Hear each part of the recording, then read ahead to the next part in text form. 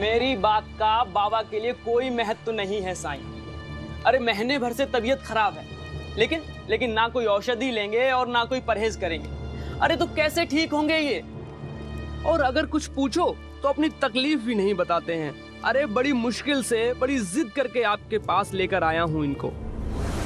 साईं, मैंने अपनी माँ तो खो दी है, लेकिन ये बाबा ही मेरे लिए सब कुछ है। अगर इन्हें कुछ हो गया ना तो मैं अपने आप को माफ़ नहीं कर पाऊँगा। बेटा, मैं कुछ बोलू?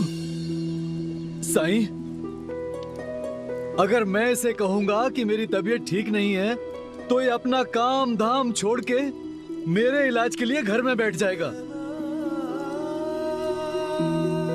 और मैं ये नहीं चाहता कि मेरे लिए ही अपना नुकसान करे। इसे इसे समझाइए। मैं तो अपनी ज़िंदगी जी चुका, पर इसने अभी शुरुआत भी नहीं की। कब तक मेरी चिंता करता रहेगा? इसीलिए मैं अपनी बीमारी के बारे में इसे कुछ भी नहीं बताता। और एक बात साई, इसे कहिए कि एक अच्छी सी लड़की देख के ये अपनी शादी करे। मुझे अपना घर बहुत सुना सुना लगता है। और साईं घर तो औरतों से ही बनता है है ना? सुना ना आपने साईं सुना ना। सारी बात कह दी लेकिन अपनी बीमारी की बात वो टाल गए। अब साईं के पास आए हैं तो कोई बात उनसे छुपती नहीं है। पर मेरा फ़र्ज़ तो बनता है ना कि तुम्हारी शिकायत करूँ। अब साईं के समझाने से शायद तुम थोड़ा समझ जाओ।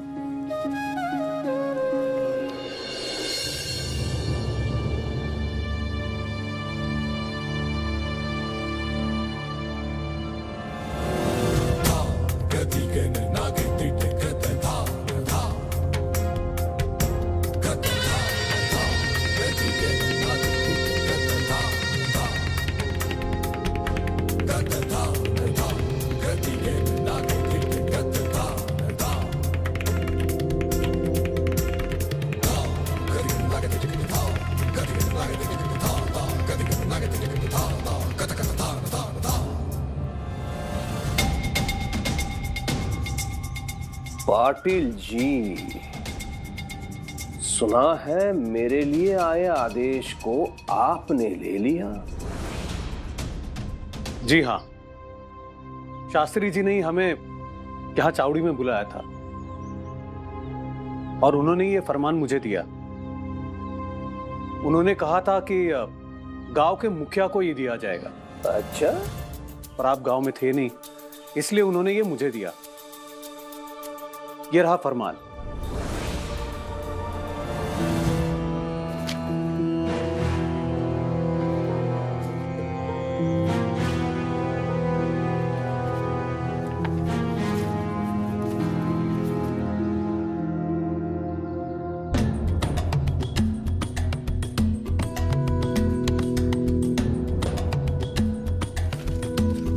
हम सबने निर्णय लिया है। कि महारानी को पैठनी साड़ी देंगे। कौन सी सारी पैठनी साड़ी।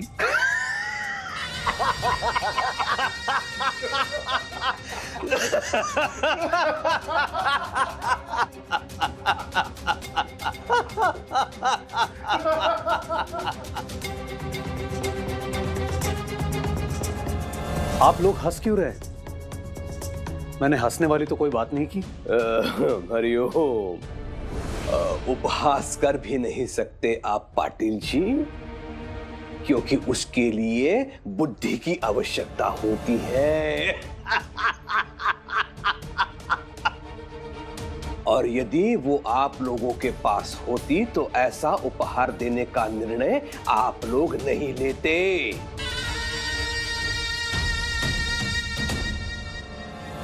महारानी है वो। अंग्रेज़ों की महारानी। आधी दुनिया पर उसकी हुकूमत चलती है। क्या वो तुम्हारी पैठनी पहन के लंदन घूमेगी? सारे वारे कुछ नहीं पहनती वो। उसे ऐसा उपहार देना चाहिए जिसे वो पहन सके। ऐसा हम उन्हें क्या दे सकते? हैं जो वो पहन सके।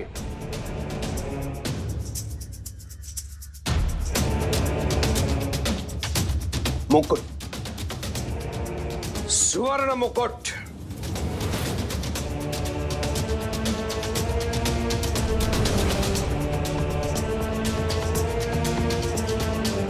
सरकार वो तो बहुत महँगा होगा। क्या हम कुछ और नहीं दे सकते? कुछ और? कहीं ऐसा तो नहीं है कि आप लोगों को लग रहा है कि मैं सुझाव दे रहा हूँ? सुझाव नहीं, ये मेरा आदेश है। संभवतः आप लोगों की स्मरण शक्ति क्षीण हो गई है। मैं शिरडी का राजा हूँ। राजा। मेरे आदेश की पूर्ति करना आप लोगों का धर्म है।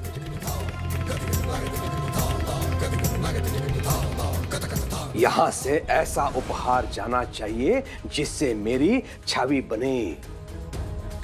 और मेरी छवि बिगड़ने का मैं किसी को अधिकार नहीं दे सकता। और सुनिए छोटा मोटा मुकुट नहीं, तीन सौ तोले का मुकुट में भेंट में दूँगा रानी विक्टोरिया को। तोला इसके लिए शिरडी का हर नागरिक बराबर मात्रा में अपना योगदान देगा।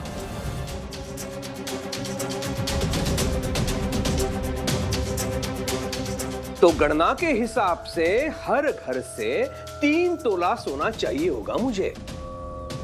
तीन तोला सोना? ये तो हम सबके लिए बहुत ज़्यादा है। कोई कोई कैसे दे पाएगा इतना सोना? हरिओम हरिओम, मैं समझ सकता हूँ कि इतना सोना इतना सोना हर घर में नहीं हो सकता। और आप तो सब जानते हैं कि जहाँ शिरडी की बात होती है, वहाँ मैं आप लोगों के साथ हूँ। हरिओम। इसलिए जो घर सोना नहीं दे पाएगा, उसके हिस्से का सोना मैं दूँगा। अब तो ठीक है ना?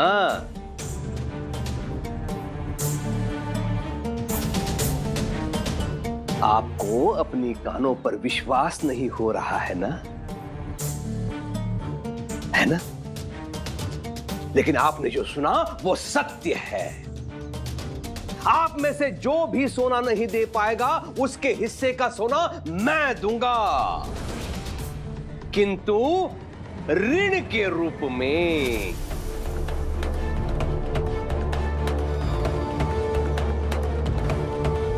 और ऋणी को पाँच प्रतिशत के दर से ब्याज का भुगतान करना होगा मुझे।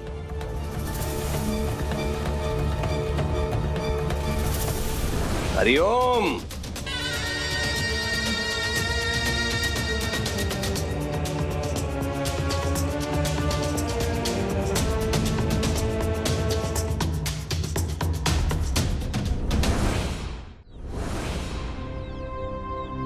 भाईजान जो भी जमा पूंजी थी असलम की शादी में सब खर्च हो गई अब तीन तोला सोना हम कहाँ से लाएँगे? सलीम मुझे तो इस बात की फ़िक्र हो रही है कि कहीं हमारे घर को अगर दो घरों में गिन लिया गया तो कुलकर्णी सरकार को हमें तीन तीन तोला सोना यानी छह तोला सोना देना पड़ेगा। जिसको देना है वो दे पर मैं एक पैसा नहीं दूँगा। अब मेरे पास है ही नहीं तो कहाँ से दूँगा?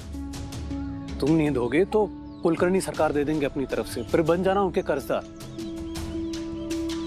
कुलकर्णी सरकार की इतनी बात भी भूल गए क्या? और पंडरी कुलकर्णी सरकार की चाल तुमसे अधिक और कौन समझ सकता है? उनके यहाँ एक बार कर्ज का खाता खुल गया फिर वो कभी बंद नहीं होता। सही कह रहे हैं आप। कहने सुनने का वक्त गया। हंसकर या रोकर इंतज़ाम तो करना पड़ेगा। सरकार से झगड़ा मोल लेना हमारे लिए नुकसानदायक होगा। चाहे वो कुलकर्णी सरकार हो या फिर अंग्रेज़ सरकार।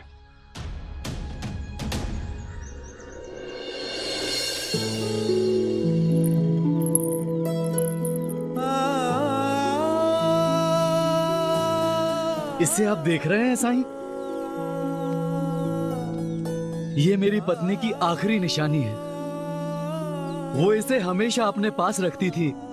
ताकि अपनी बहू को दे सके। पर उसकी इच्छा अधूरी रह गई। अपने अंतिम समय में मुझे इसका दायित्व सौंपकर चली गई, ताकि मैं उसकी बहू को दे दूँ। तब से मैं इसे हमेशा अपने पास रखता हूँ। पर यह है कि शादी का नाम ही नहीं लेता। कहता है, घर में बहू आएगी तो मैं आपकी सेवा नहीं कर पाऊँगा। पर यह समझता नहीं है। मेरी उम्र हो चुकी है। कब भगवान का बुलावा आ जाए? पर मैं ये चाहता हूँ कि मेरी पत्नी जो अधूरा काम छोड़कर चली गई है, मैं उसे पूरा करके शांति से उसके पास चला जाऊँ। कम से कम मरने के बाद ये अफसोस तो नहीं रहेगा कि मेरा बेटा अकेला है। इतना तो सुकून रहेगा कि उसकी देखभाल करने वाला कोई तो है घर में। प्रेम में हम एक दूसरे की देखभाल करते हैं, चिंता करते हैं एक दूसरे की, एक दूसरे की भलाई चाहते हैं। पर प्रेम में एक दूसरे की भावनाओं का सम्मान करना, उनका ध्यान रखना यह भी ज़रूरी है। हमें हमें एक दूसरे का पूरक होना चाहिए।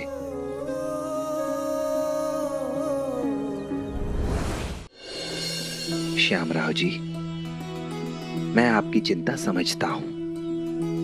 पर पर आप आदित्य को मानसिक रूप से शादी के लिए तैयार होने दीजिए, और इसके लिए आपको भी उसका सहयोग करना होगा।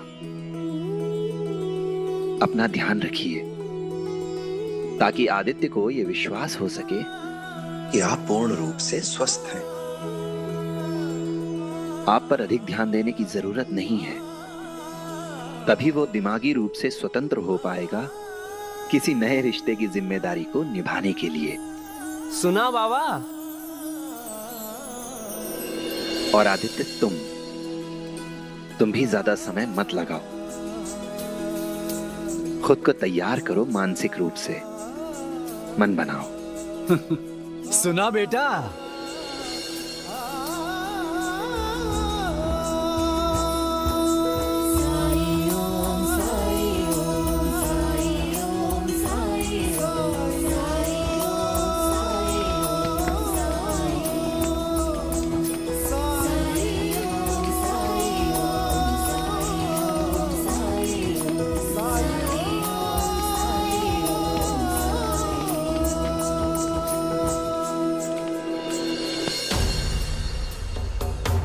हम लोगों के घर जला दिए फिर भी हम नहीं भागे। और तुम्हारे घर का झूला तोड़ दिया तो तुम भाग गए? डरपोक कहीं के। डरपोक डरपोक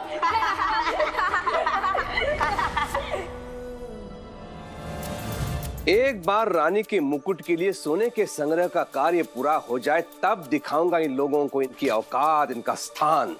बहुत ज़रूरी हो गया था सरकार। सरकार सबका दिमाग सातवें आसमान पर पहुँच गया है?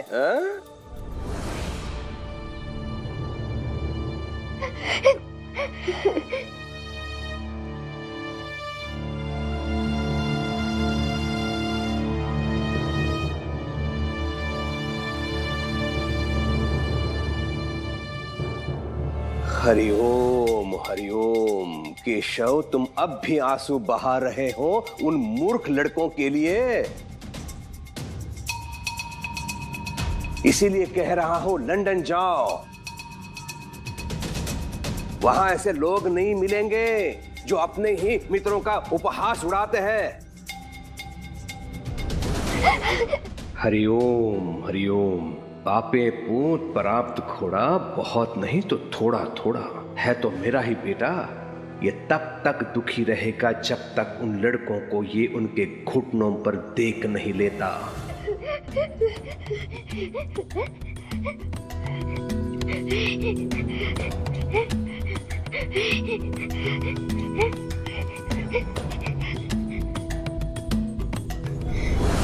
केशव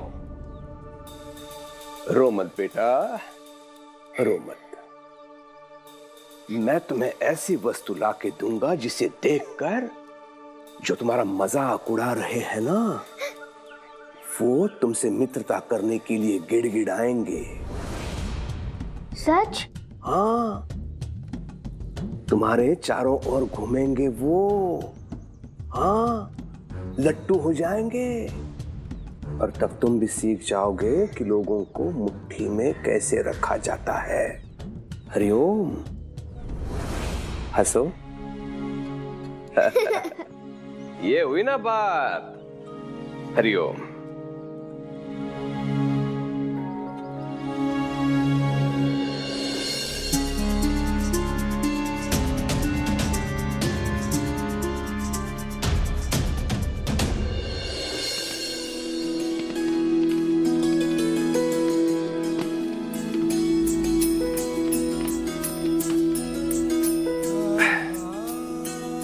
ये लीजिए। इसे तीन दिनों तक पानी के साथ लीजिएगा। मैं वादा करता हूँ अपना ख्याल रखूँगा। मैं आपसे वादा करता हूँ अगर आप अच्छे से अपना ख्याल रखेंगे ना तो मैं इस वर्ष अपनी शादी के बारे में ज़रूर सोचूँगा। देखा साईं? बीमार होना भी कभी कभी फ़ायदेमंद होता है।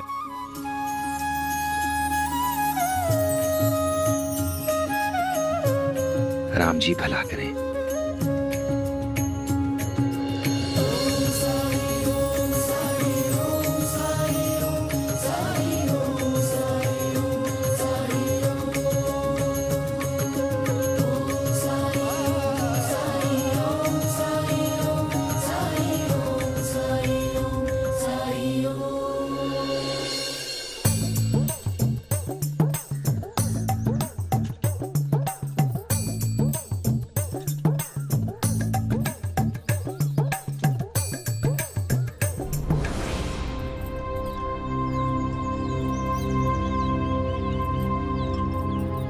शिव बात करनी थी तुमसे।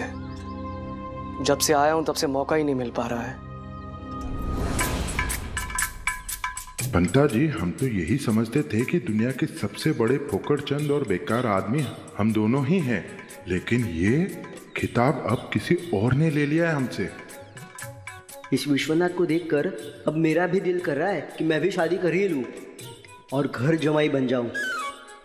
फिर मेरी भी ऐश मौज। अगर तुम्हारा मन हो तो बाहर घूमने चले हम लोग। जहाँ इस मौसम में आ, आपका दिमाग तो ठिकाने पर है ना? ठीक है।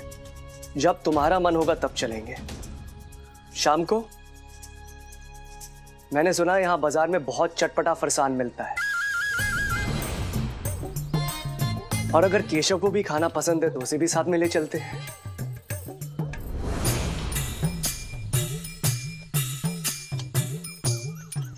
अब क्या गलत कह दिया मैंने? सवाल सही गलत का नहीं है।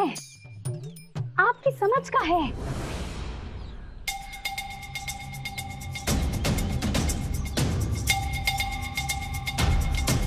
आप मुझे पूछते क्यों हैं? क्यों पूछते हैं आप मुझे? वहाँ गाँव में भी ऐसे ही करते थे। चलो सबको लेकर चलते हैं। यहाँ भी सबको लेकर जाइए। सबको हाँ? चियो। अरे। अब क्यों नाराज़ हो गई? चियो। चियो। चियो। चुप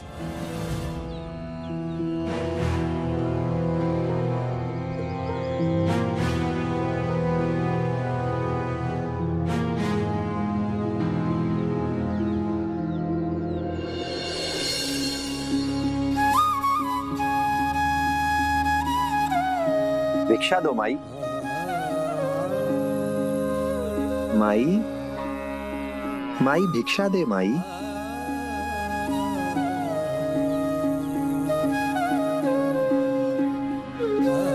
माई भिक्षा दे, माई। कोई बात नहीं। अल्लाह मालिक। मेरे बारे में कुछ भी कहा तो मुँह तोड़ दूँगा समझे? कैसे चुप रहूँ? जो मैं कहा सही तो कहा घर जमाई हो तो घर जमाई कहूँगा। एक और शब्द नहीं मैं बता रहा हूँ। अब बता रहा तुमको। मैं बहुत मारूँगा बता रहा हूँ मैं। कैसे मारोगे तुम? अरे हटो। नहीं मानोगे तुम। नहीं मानोगे। अरे रुक जाइए अरे छोड़ दीजिए आप। ये- अरे रुक जाइए। अरे रुकिए। क्या कर रहे हैं आप लोग? रुकिए। क्यों मार रहे हो उसे? साई इसी ने शुरुआत की थी इसी से पूछिए। ये सच है कि मैंने शुरुआत की है। लेकिन कसूर मेरा नहीं इन लोगों का है। इन लोगों के तानों से मेरा धैर्य समाप्त हो गया। ये लोग मुझे घर जमाई घर जमाई कहकर चिढ़ाते हैं। मुझ पर हँसते हैं। सिर्फ़ इसलिए कि मैं अपनी पत्नी के घर में रहता हूँ अपने ससुराल में रहता हूँ। ससुराल में रहते हो उन्हीं का खाते हो तो घर जमाई हुए ना? और सच सुनने में तुम्हें तकलीफ़ क्यों होती है? हाँ मैं घर जमाई हूँ ससुराल में रहता हूँ लेकिन मैं उनके टुकड़ों पर नहीं पलता हूँ। क्या जानते हो तुम सब लोग? मैं खुददार हूँ खुद की नौकरी करता हूँ। अपने माँ बाप के साथ साथ अपनी पत्नी के माँ बाप का भी ख्याल रखता हूँ। साईं कुछ महीने पहले मेरी शादी हुई थी। शादी के कुछ दिनों बाद मेरे ससुर बीमार पड़ गए और मेरी पत्नी को मायके जाना पड़ा। मेरी सासू माँ लाचार हैं, बूढ़ी हैं। वो कुछ संभाल नहीं सकती। मेरे ससुर पूरी तरह स्वस्थ नहीं है। तो मैं भी यहाँ चलाया, जिससे हमारी गृहस्थी पर असर ना पड़ सके। ईश्वर की कृपा से मेरे माता पिता स्वस्थ हैं, तंदुरुस्त हैं। वो अपना ख्याल रख सकते हैं, लेकिन मेरी पत्नी के माता पिता के मामले में ऐसा नहीं है। उन्हें 24 घंटे एक आदमी चाहिए। जो उनका ख्याल रख सके देखभाल कर सके। साईं लोग ये क्यों नहीं समझते? हैं क्यों हँसते हैं मुझ पर? क्या पत्नी के घर पे रहना पाप है गुनाह है? बताइए साईं।